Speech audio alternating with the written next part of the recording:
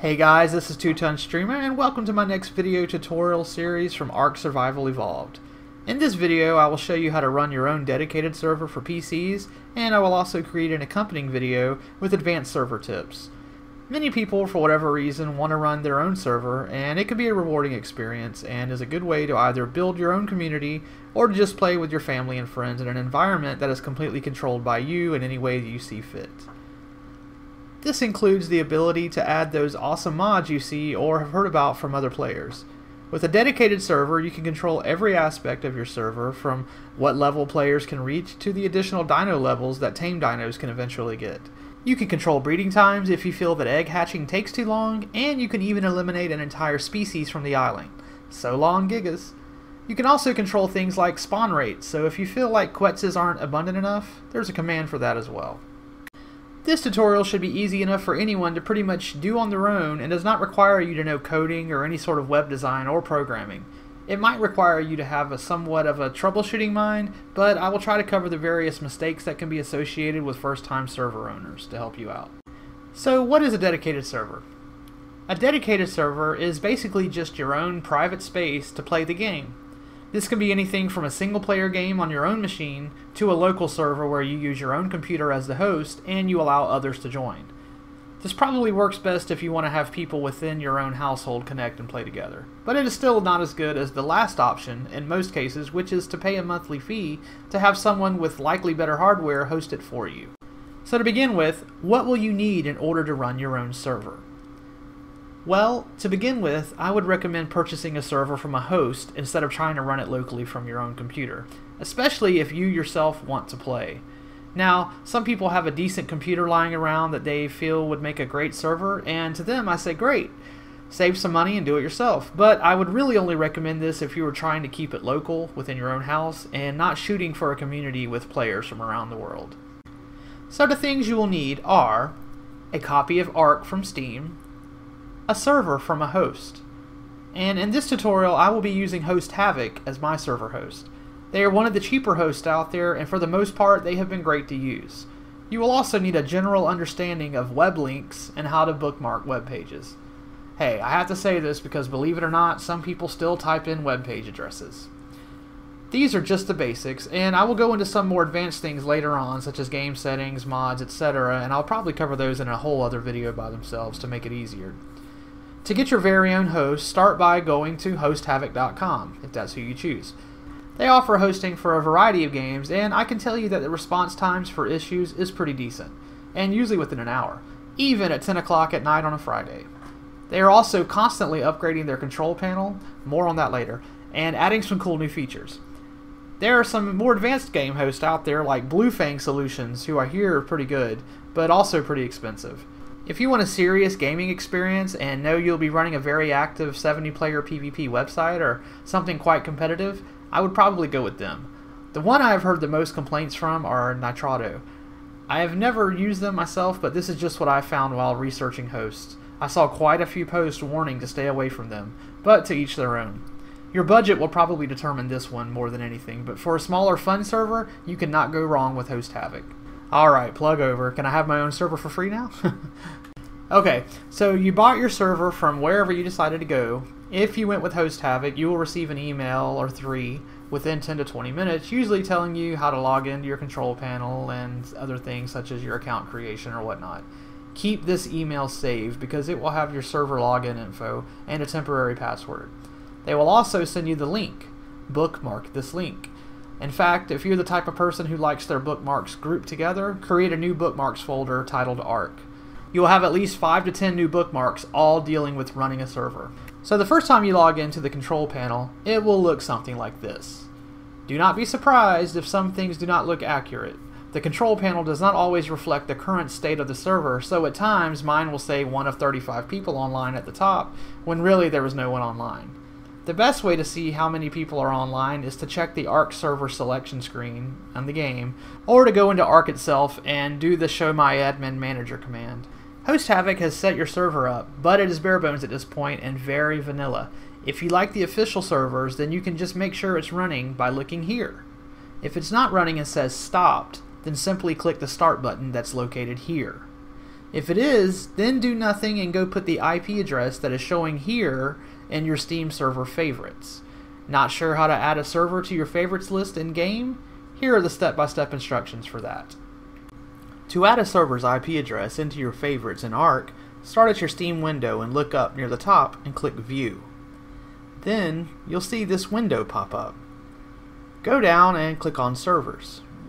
Then a new window pops up. This is your servers list. At the top, select the Favorites tab. Then down at the bottom, select Add a Server. This new pop-up is where you put that server IP address, put it exactly as you see it with the colon and the numbers after the colon as well. Now, when you sign into ARK, select Join ARK. This brings you to the server page. Down at the bottom, change the filter to Favorites, and voila! If your server is updated and functioning correctly, it will show up in this list. Now that you know how to start, stop, and view your server in ARK, you might want to try some different settings. If you want to adjust anything, such as how much XP you gain per levels, your gathering rates, or if you want to put mods on, then you will need to look in one of three places. Let's discuss the three most important places where you handle the majority of settings for your server. The command line page can be found by clicking here. Once in the menu, if you do not currently have a command line, you must select New up near the top to create one. Some of the functions of the command line handle options that are just simple boxes as you can see here that you must check in order for them to be added to your server. Things like enabling RCON, which RCON is a way to remotely access your server from a web browser or even your phone, and there are also special tools available to download that deal with RCON. There are even other settings like special options, like flying dinos into caves, or adding special anti-cheat commands, which can all be added through the checkboxes as you see here.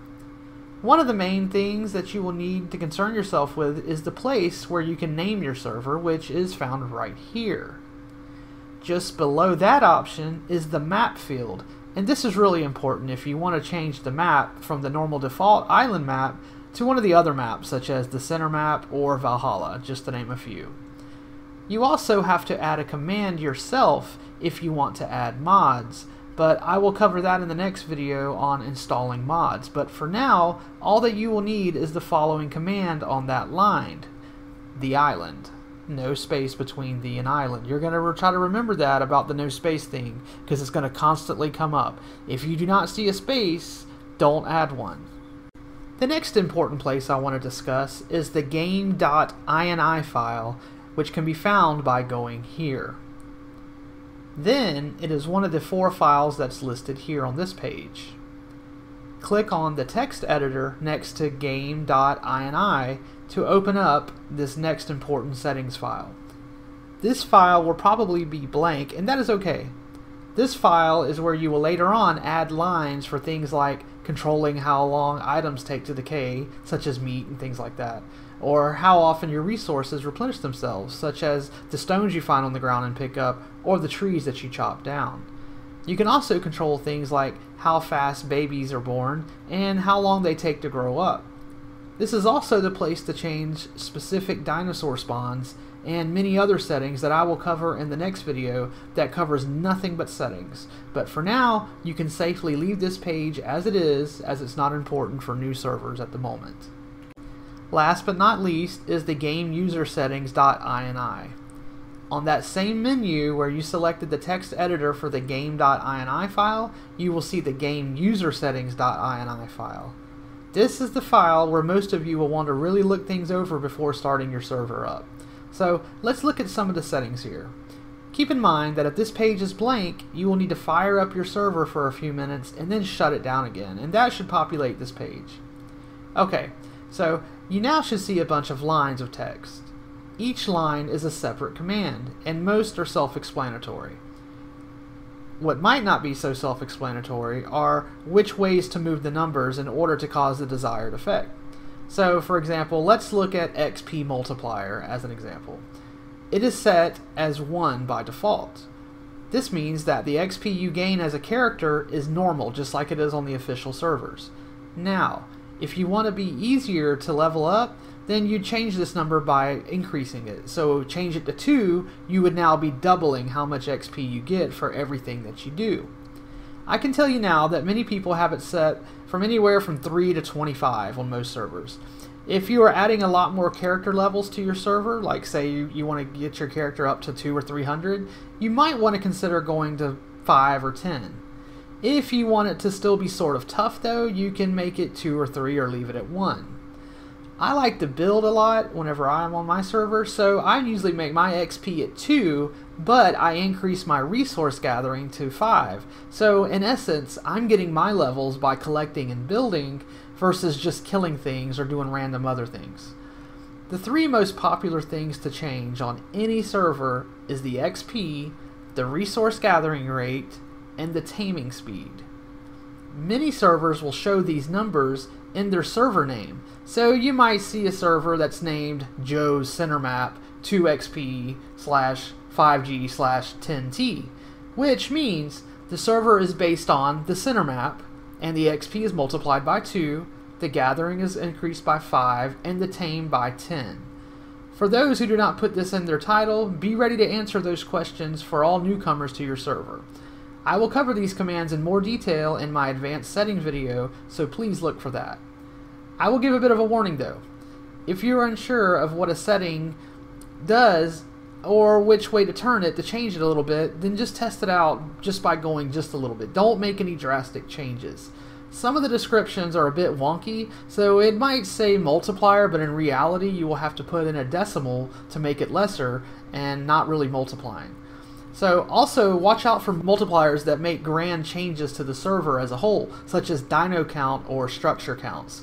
These can impact server performance harshly and you will want to move these up a tiny bit at a time. Otherwise, your server might crash or not start up at all.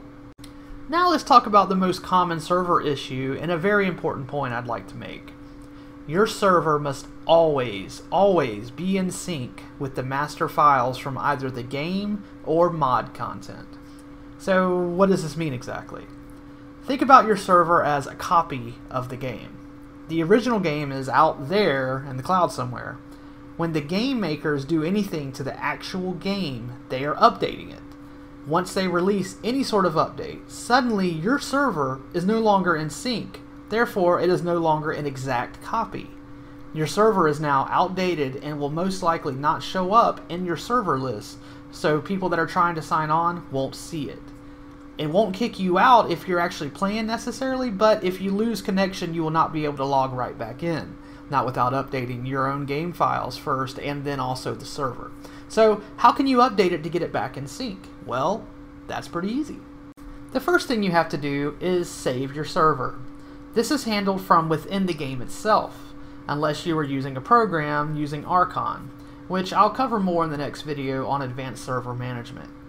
But to save your server from within the game, while you're playing, get somewhere safe. Um, preferably in your base or on the ground, and also tell anyone else on your server that they need to do the same. Then, hit the Tab key. You will see a black space open up at the bottom of the screen. You then need to type the following. Enable cheats with no space between enable and cheats. Then you want a space and then your password. Make sure you have a space between enable cheats and password, but no space between enable and cheats, just as I, just as it shows on the screen. Then, to make sure that the cheats are indeed enabled, type in show my admin manager with no spaces, just as you see on the screen here. This screen should show up. If it did not, you did not put in the password command correctly, so go back and do the enable cheat space password again. Now that you know this works, hit tab again to bring up the black bar at the bottom. Now type in cheat space save world. Save world all one word, exactly like it shows on the screen here. Usually, there will be a bit of lag at this point, as your server's trying to save. So, if you try to access something like, say, a storage bin, it won't work. Um, you might see dinos moonwalking or running in place or whatnot. And this is kind of an indicator to let you know that you've done a save correctly. Now that you have successfully saved your server, you can log out, and now it's time to go onto your web browser and go to your server control panel, where we were at before. And what you're going to do now is you're going to shut the server down.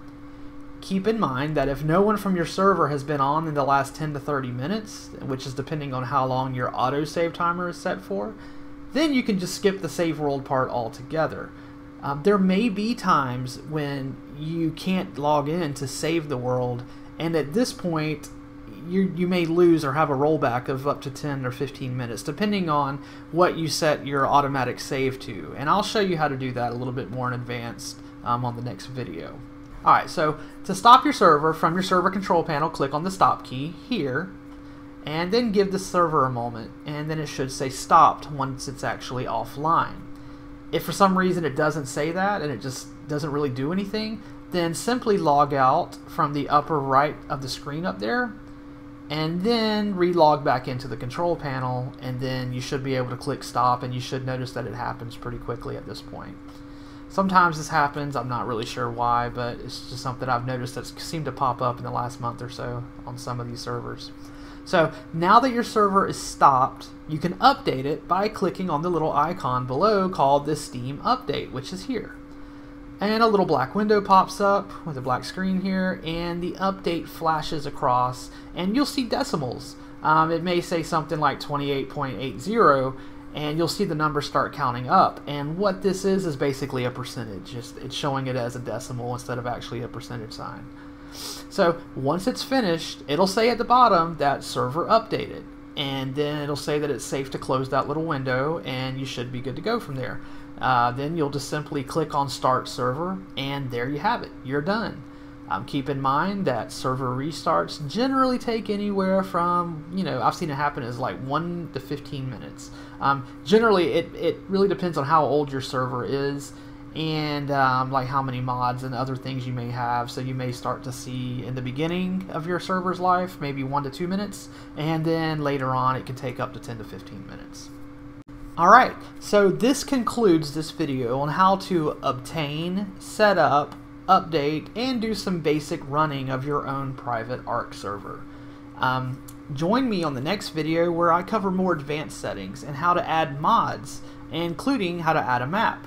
Um, I hope this video has been informative and remember to like, share, and subscribe to learn more about this game and any others that I cover. And as always, I've been Two Ton Streamer and we'll see you next time. Take care guys.